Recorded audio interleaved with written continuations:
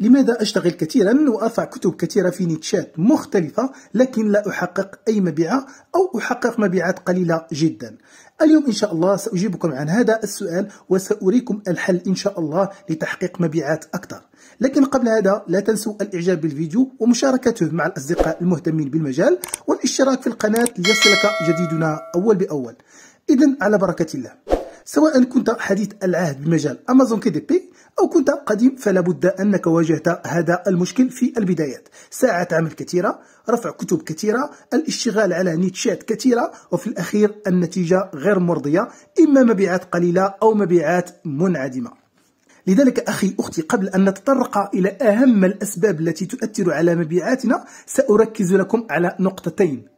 فالكل سوف يمر من هذه اللحظة. وهنا مربط الفرس. إما الاستمرارية وتطوير النفس بتعلم مهارات جديدة تساعدكم على تجاوز هذه النقطة أو الوقوف ومحاولة إيجاد أعذار واهية والنتيجة التوقف عن نشر الكتب وخيبة أمل في هذا المجال.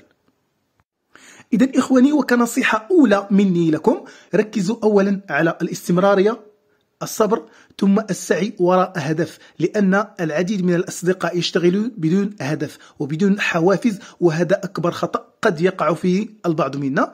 ولتجنب هذا الخطأ قوموا بوضع خطة قريبة المدى مثلا تحقيق مبيعة في الأسبوع وبعدها مبيعة في اليوم وبعدها مبيعات كل يوم. ثم خطة بعيدة المدى بتحقيق مبلغ محترم في السنة. وعند وصولك لأي هدف من هذه الأهداف حاول أن تمنح لنفسك هدية كتحفيز ودعم. وصدقني فهذه الخطة ستفرق معك كثيرا. إذا سننتقل إلى الشرح التطبيقي. إذا الآن سوف نتطرق إلى أهم المشاكل التي تجعل كتبي لا تباع. سوف أقوم بالمرور عليها بإيجاز حتى لا أطيل الفيديو ولكوني كذلك قمت بشرحها سابقا في فيديوهات أخرى في القناة. لمن يريد الاطلاع عليها ما عليه سوى الدخول إلى القناة؟ ثم اختيار قائمة أمازون كيندل سوف تجدون 93 فيديو فيه جميع الأجوبة عن تساؤلاتكم أو المشاكل التي ستواجهنا في هذا المجال. إذا إخواني أول شيء قبل الاشتغال في أي كتاب يجب عليكم التركيز على ال niche فهذا ال niche يجب أن يتحقق فيه شرطين أساسيين. هو منافسة قليلة وعليه طلب كبير. ثم ننتقل إلى الخطوة الثانية وهي الأهم كذلك وهي محاولة تصميم غلاف جميل ومثير للانتباه وبدون أخطاء. وكذلك في القناة قمنا بالعديد من الشروحات إلى طريقة إنشاء هذا الغلاف وكذلك المحتوى الداخلي للكتاب انطلاقا من كانفا باوربوينت فوتوشوب وكذلك إلستراتور ما عليكم سوى الرجوع إلى القناة والاستفادة من تلك الدروس. ثم بعدها إخواني بعد تصميمنا لغلاف جيد ومحتوى جيد فما يثير المشتري هو العنوان. يجب أن يكون هذا العنوان صحيح وليس فيه أي أخطاء ثم به كلمات قوية جدا حيث أن المشتري عند كتابته لأي كلمة في البحث يجب أن يكون هذا الكتاب الخاص به متصدر للنتائج حتى يظهر للعديد من المشتري. والآن سأريكم طريقتي في إنشاء العنوان وكذلك الوصف والكلمات المفتاحية لكل كتاب خاص بي. فمثلا أنا قمت بالاشتغال على Coloring Book for Kids Ages 2 4 أقوم بالنزول ثم أبحث عن الكتب التي تتصدر هذه الصفحة الأولى لكن ليست عليها حملات إعلانية وبالتالي أتأكد من أن فعلا الكتب قوية لا تحتاج إلى أي حملة إعلانية. فسأختار مثلا هذا الكتاب الأول ثم بعدها هذا الثاني وبعدها هذا الثالث حتى أكمل عشرة كتب. ثم هنا الخطوة الأهم. أقوم بنسخ هذا العنوان الخاص بهذا الكتاب. ثم أقوم بفتح نافذة هنا في الوورد ثم أقوم بلسخ العنوان الأول. أعود إلى الكتاب الثاني كذلك أقوم بنسخ العنوان الخاص به. وكذلك الكتاب الثالث أقوم بنسخه كذلك هنا.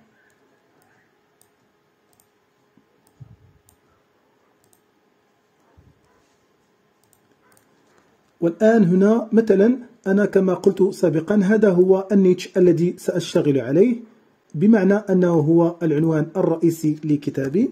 أقوم بوضعه ثم نقطتان ثم بعدها أقوم بجلب أقوى الكلمات المفتاحية في هذه الكتب العشرة التي قمت بترتيبها هنا وذلك بإختيار كلمات مفتاحية جميلة تعطي لكتابي وصف جيد وكذلك بعض الخصائص المميزة له. بمعنى أن المشتري عند قراءته للعنوان يعلم أن هذا الكتاب به هذه الخصائص دون الحاجة إلى الدخول إليه. فمثلا لاحظوا هذا الكتاب. عند قراءتي للعنوان أعلم بأنه خاص بالأرقام وكذلك بالحروف وبعض الأنشطة الخاصة بالأطفال. أقوم بوضع مثلا هذه الجملة الأولى. أقوم بنسخها وآتي هنا وأقوم بلسخها إن كان كتابي يحتوي على أرقام أترك الأرقام وكذلك الحروف أترك الحروف. أما إن كان لا يحتوي على مثلا أشياء أخرى أقوم بإزالة هذه الأشكال مثلا. ثم بعدها أقوم بإضافة بعض الكلمات الأخرى مثلا. أحاول أن أخذها من هذا الكتاب أو من الكتاب الثاني. فمثلا إن كان كتابي خاص بالكولورين بوك أقوم بنسخ هذه الجملة بالكامل. ثم أقوم بلصقها هنا.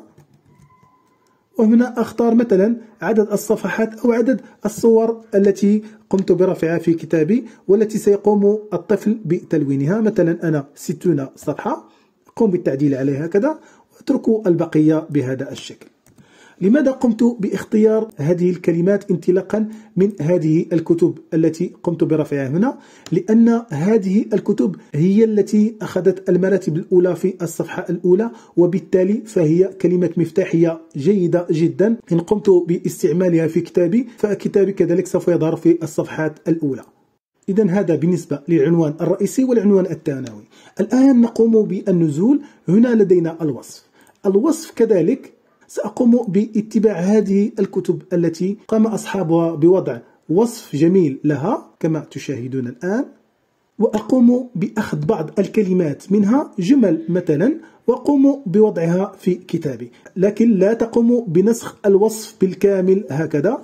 دائما حاولوا أخذ جملة من وصف الكتاب الأول وجملة من الوصف الكتاب الثاني. المهم يجب على الوصف أن يكون مطابق للكتاب الذي قمت بإنشائه. إذا الآن بعد الانتهاء من الوصف تأتي النقطة التي فيها جدال كبير وهي الكيوردز وحتى لا أجعل هذه الكلمات المفتاحية معقدة فطريقتي أنا في إنشاء هذه الكلمات المفتاحية أعتمد على تفكير المشتري.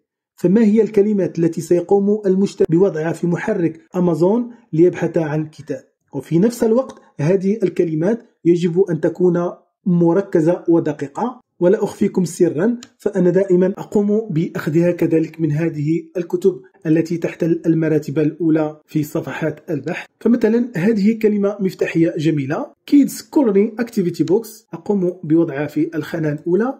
إذا هذه الكلمة لابد أن هناك مشترين سيقومون بكتابتها عند بحثهم على كتب الأنشطة الخاصة بالأطفال. أقوم كذلك بالعودة هنا. أقوم كذلك بنسخ هذه الجملة. وأقوم بلصقها كذلك هنا.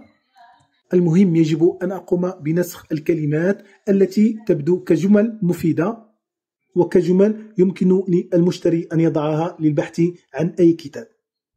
وأتم هذه الخانات لكن بالنسبة للخانة الأخيرة فأنا أعتمد على الكلمات المفتاحية الصغيرة. كما تشاهدون هنا أقوم بنسخها دائما من هنا وأقوم بلصقها في الخانة الأخيرة. بهذا الشكل. إذن هذه هي طريقتي في إنشاء كذلك الكلمات المفتاحية.